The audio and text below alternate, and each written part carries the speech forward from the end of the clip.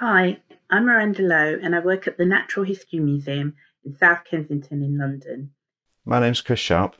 I'm the Assistant Community Curator at Leeds Industrial Museum. Hi, I'm Hannah. I'm Director of Collections, Programme and Learning here at Harewood House Trust, which is just a few miles outside the centre of Leeds. We're a historic house set in an 18th century landscape with a bird garden, so we're an unusual mixture of things. I'm Lucy Moore. I'm one of the projects curators at Leeds Museums and Galleries. Um, we're here at the Discovery Centre, which is our store. Um, and first of all, I wanted to say um, a really big thank you uh, for asking me to come and uh, answer some questions.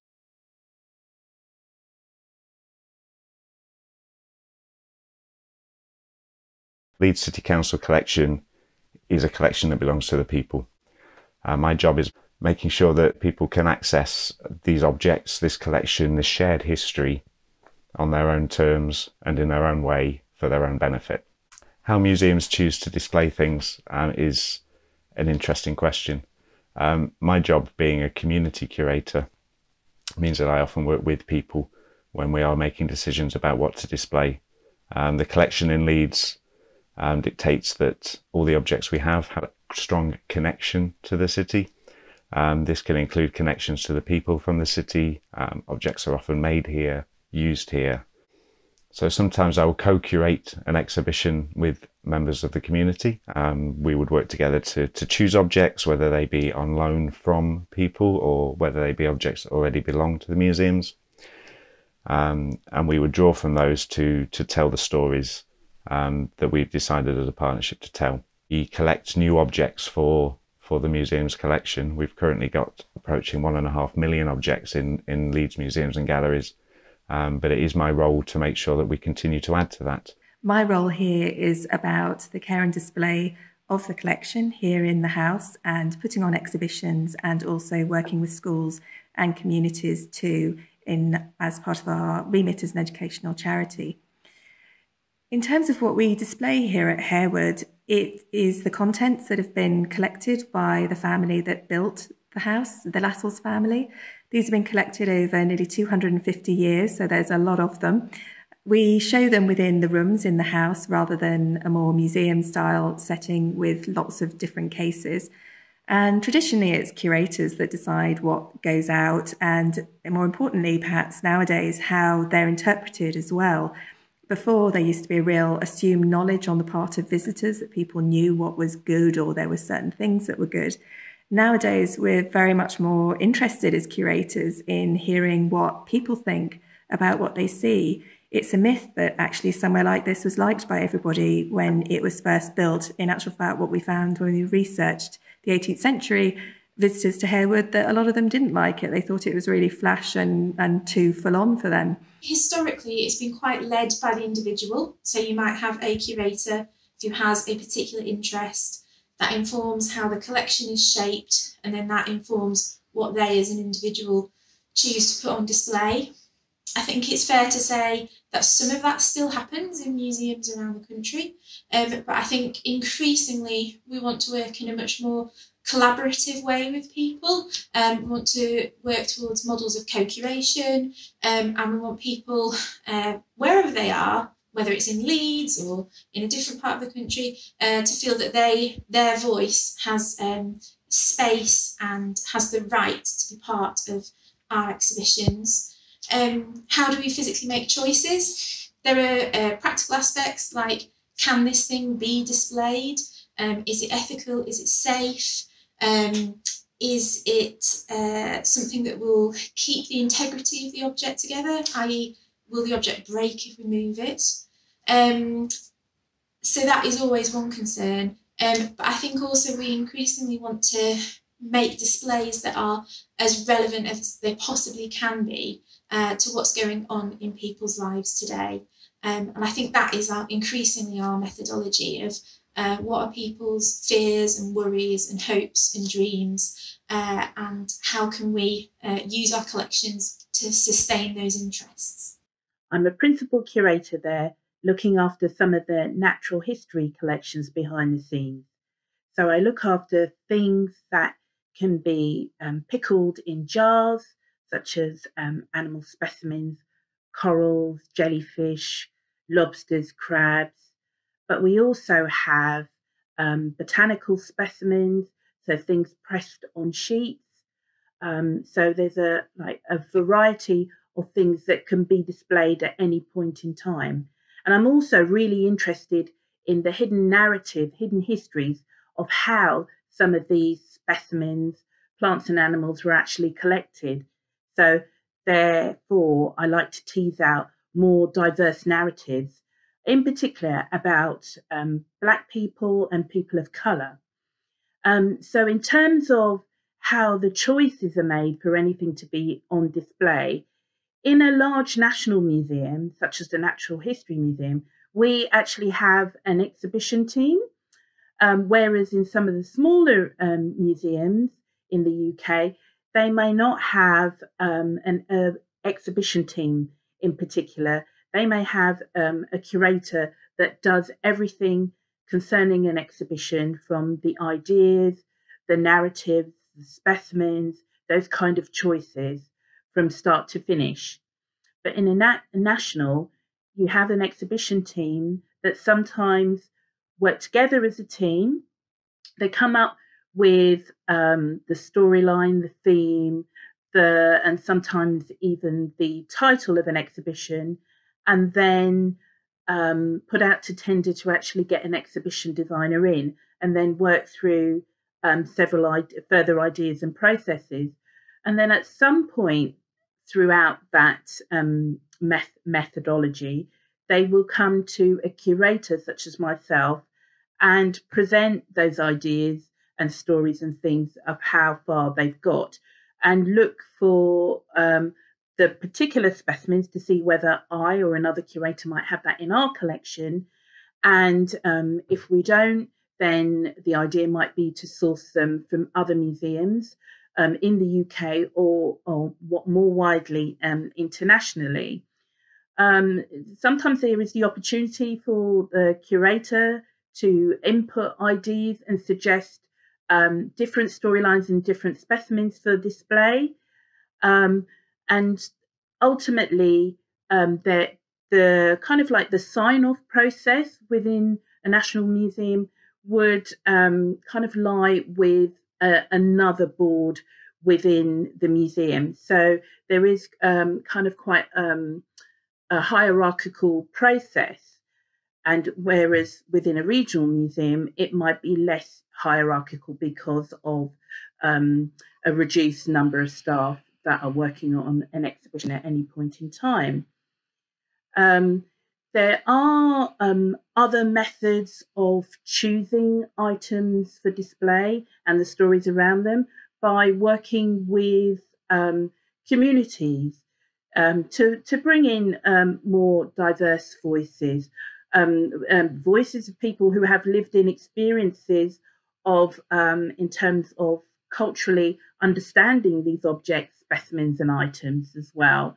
And that might come through a community engagement team that would um, bring in that community to have workshops with the exhibition team as well. Um, I myself like to bring in multiple narratives, multiple perspectives, and I work very collaboratively across my own organisation. And it would be wonderful to see more of that in a lot of our um, cultural institutions.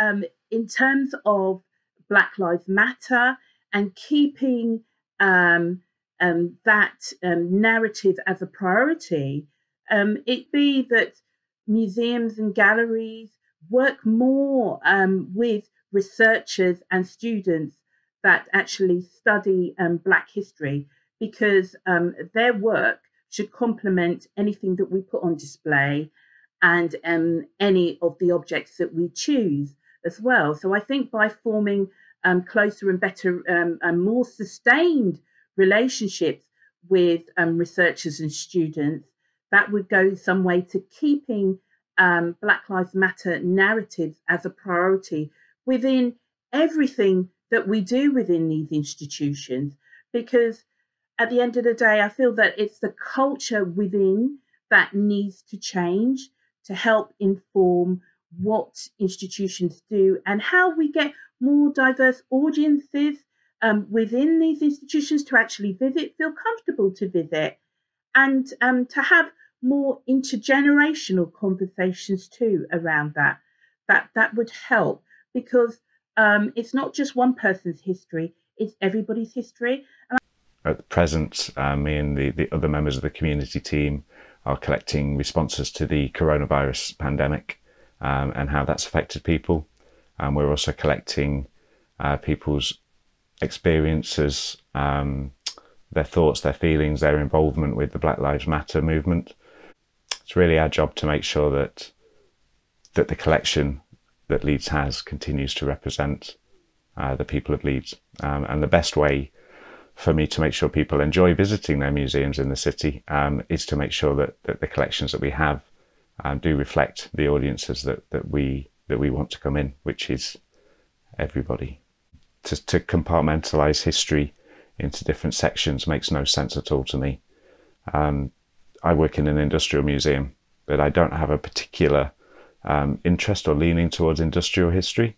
Um, I find history itself fascinating and the stories that you can tell around industrial history um, are not just the stories of machines.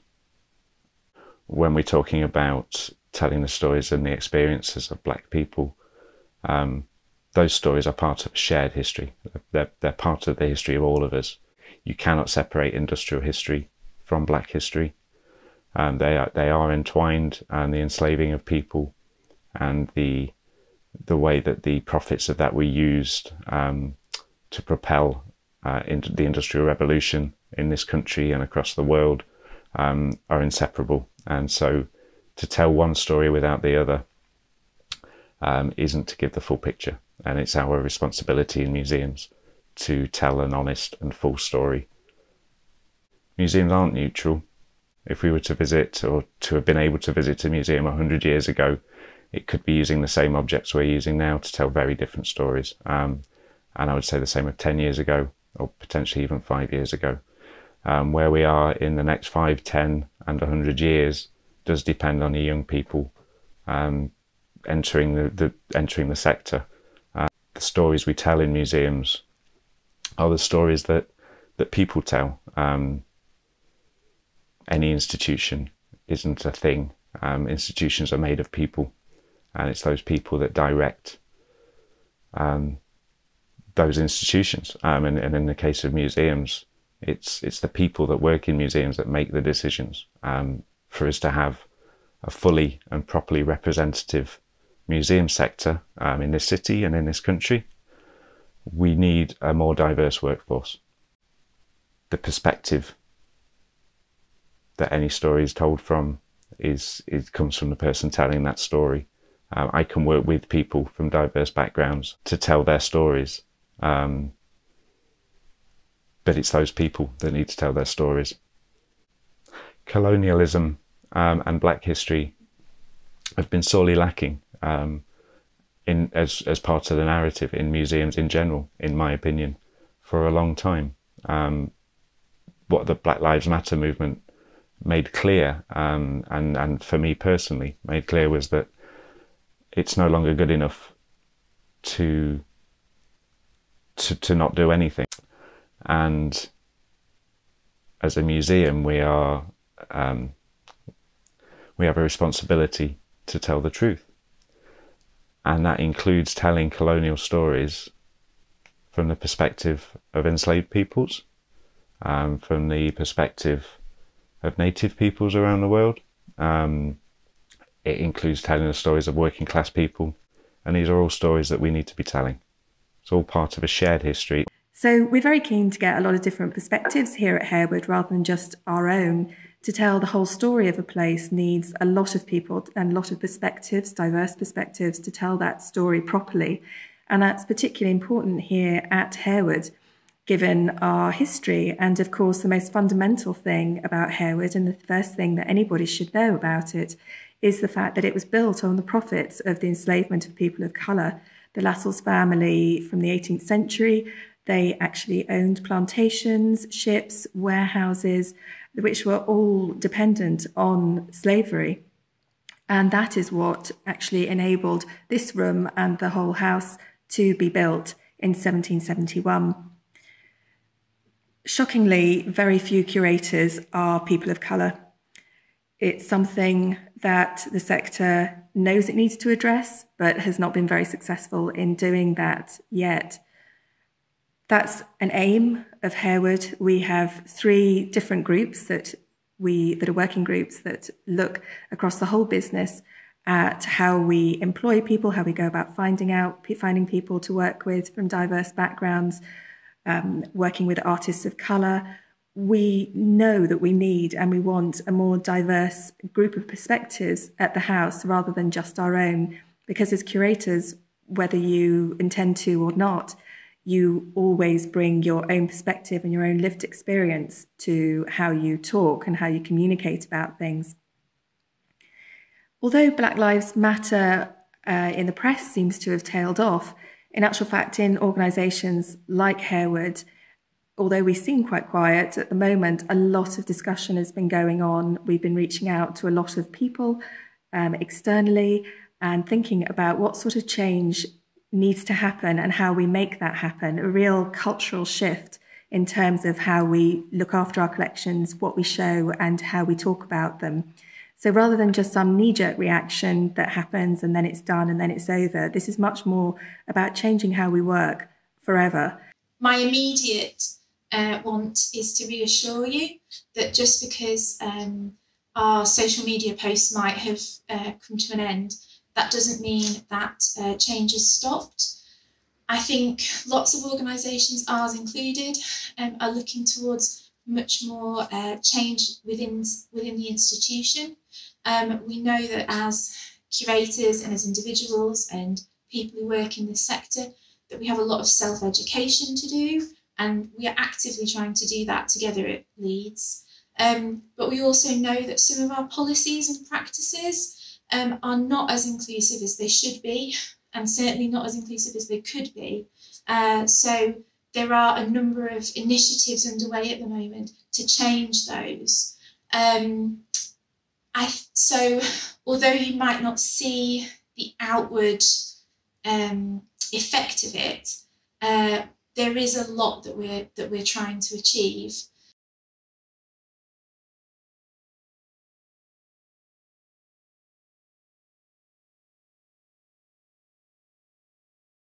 Um, it's not just one person's history, it's everybody's history. And I feel young people have a really important role to play in the future of museums. They are the future of museums.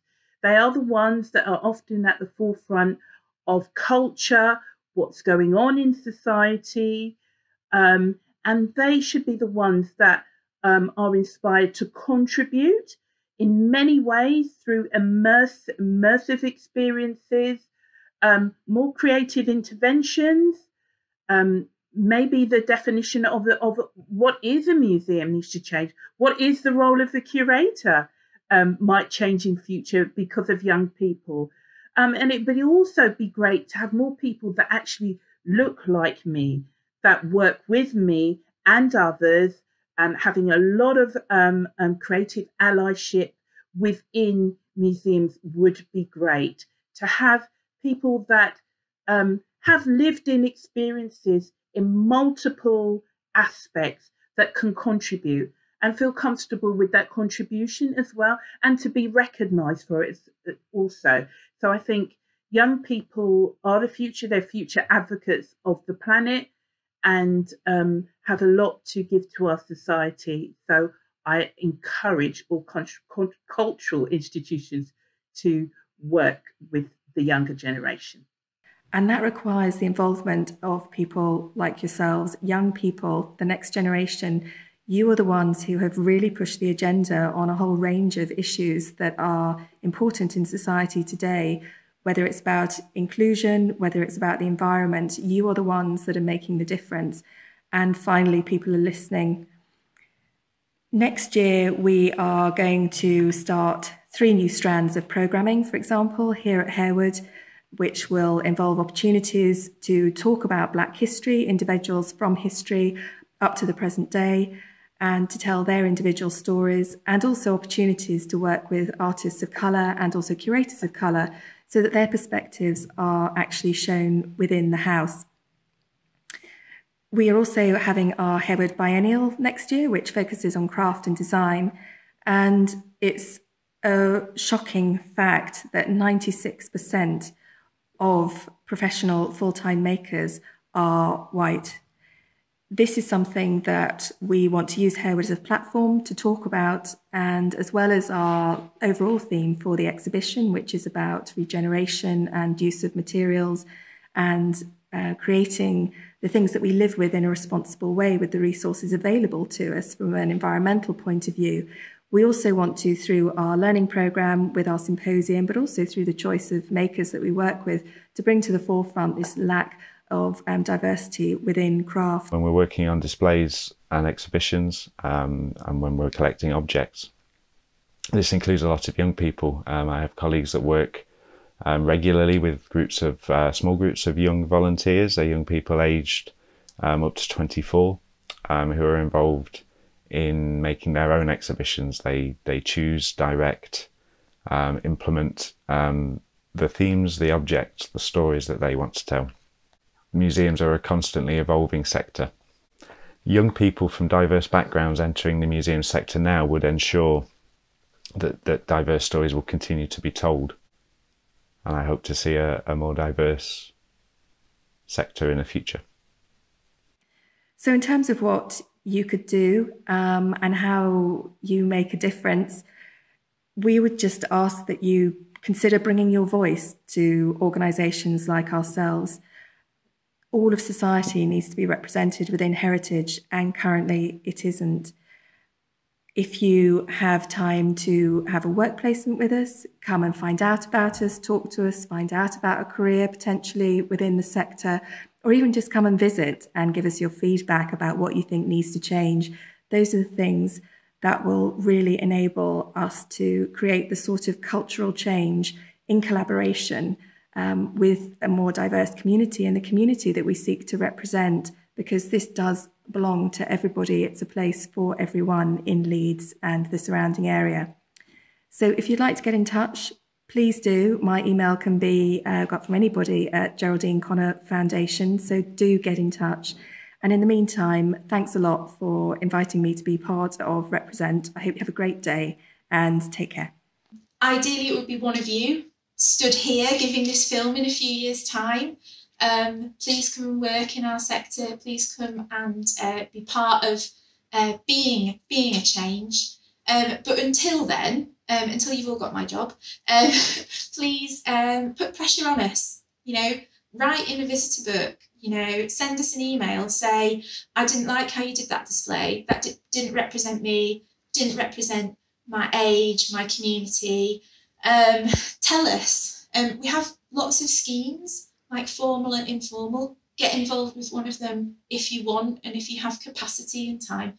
But even if you don't, just tell us. You know, we always try and respond and we want other people's voices um, to be part of the conversations that we're having. Um, so please, um, yeah, just tell us what you think, particularly if it's something that we're not doing well. Thanks. Bye.